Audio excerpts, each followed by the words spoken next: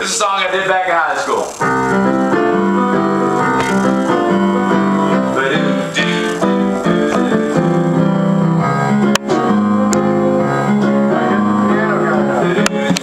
You want everybody on here.